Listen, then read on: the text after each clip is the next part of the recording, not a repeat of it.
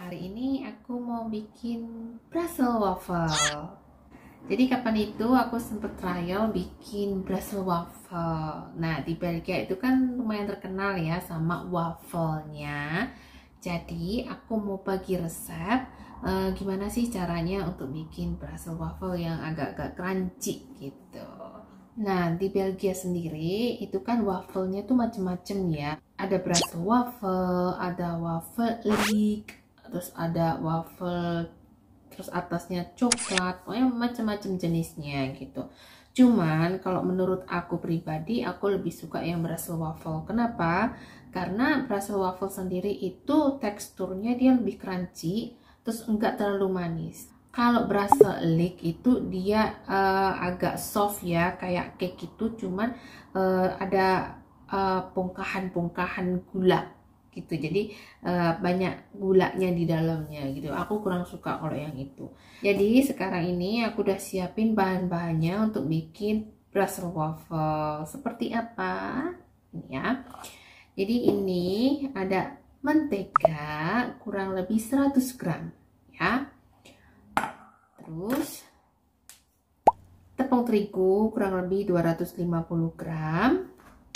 2 butir telur susu cair ya sekitar 250 ml susu cair sama gula putih sekitar 2 sendok makan. Jadi kalau memang kurang manis ya mungkin tambahin dikit. Nah untuk bahan selanjutnya ragi instan kurang lebih 1 sendok teh sama 125 ml air hangat jadi ini nanti di mix bareng. Terus yang terakhir adalah vanila. Dan tutup bahannya Ya, saatnya kita bikin Brussels waffle. Langkah pertama, sekarang hangatkan mentega sama susu cair. Susu cair sama mentega ini kita panaskan. Ragi instan kurang lebih 1 sendok teh.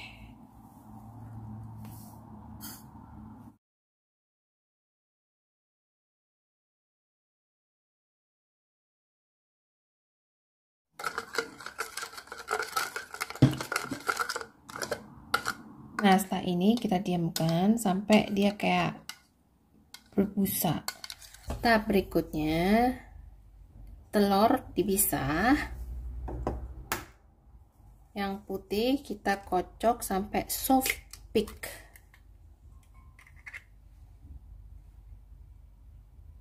Jadi kita mixer putihnya dulu.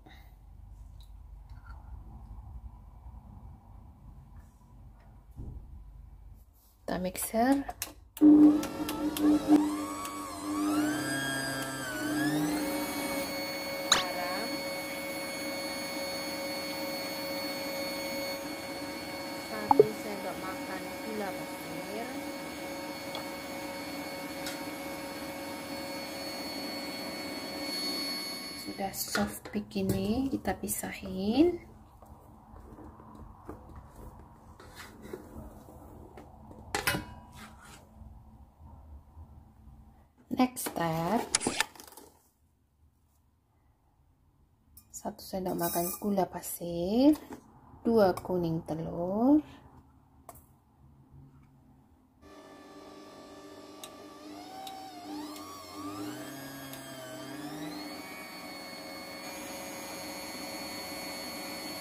Ini dia ragi yang sudah aku diemin jadi berbusa kayak gini. Nah sekarang kita masukin tepungnya dikit-dikit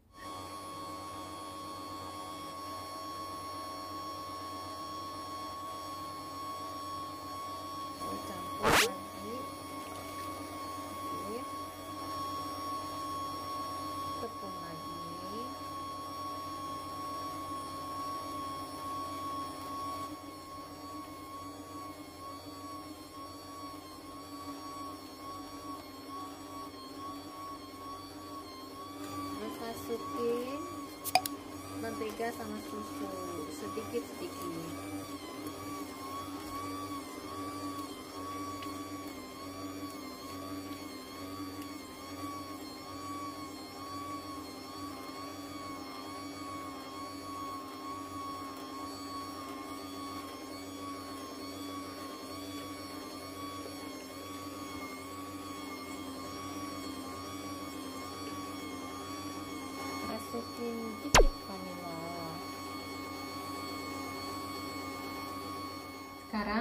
tuang putih telur.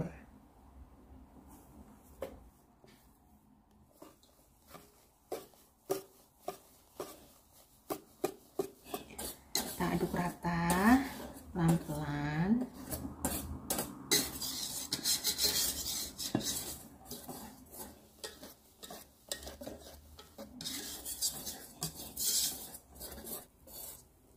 Ya jadi ini sudah rata terus kita tutup pakai anduk ya. Terus kita diamin sekitar 30 menit di suhu ruangan yang hangat. Ini adonan wafelnya sudah aku diamin 30 menit. Kayak apa?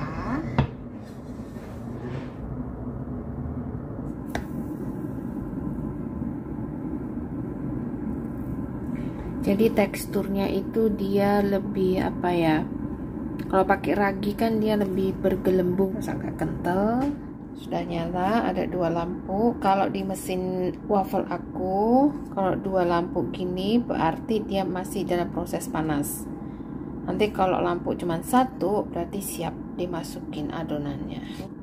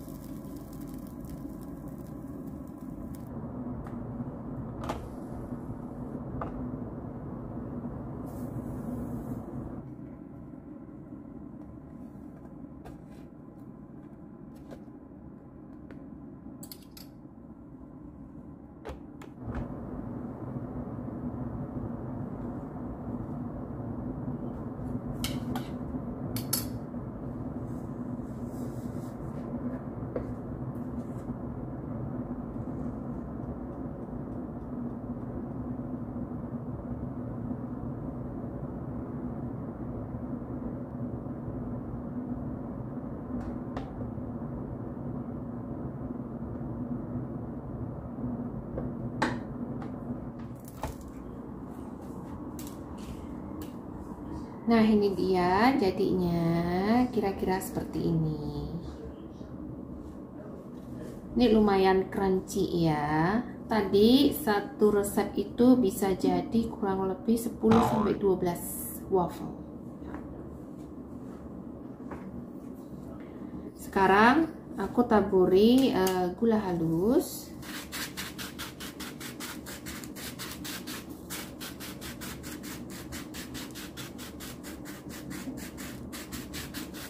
sama es krim.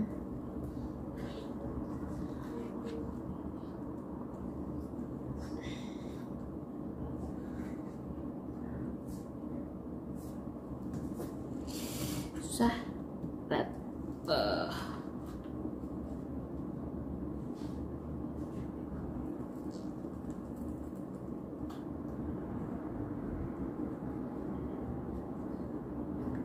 Nah, dia waffle aku.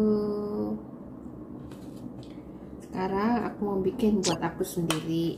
Aku dulu. Gula halus. Ya.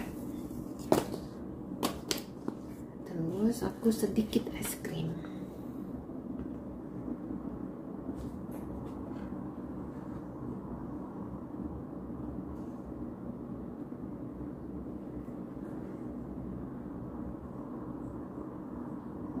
sekarang aku mau coba crunchy atau enggak.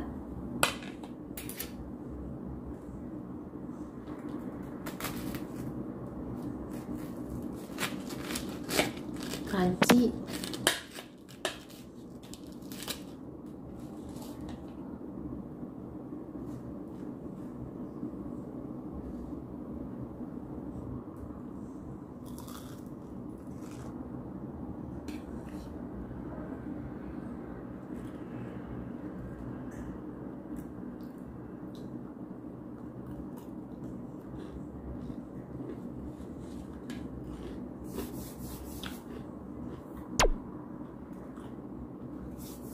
Ya, jadi berhasil bikin Brussels waffle Itu tadi video aku tentang bikin Brussels waffle. Jadi kalian yang mau bikin Brussels waffle silahkan mencoba ya. Sekian dulu video kali ini and don't forget to subscribe, like, and comment. Dah.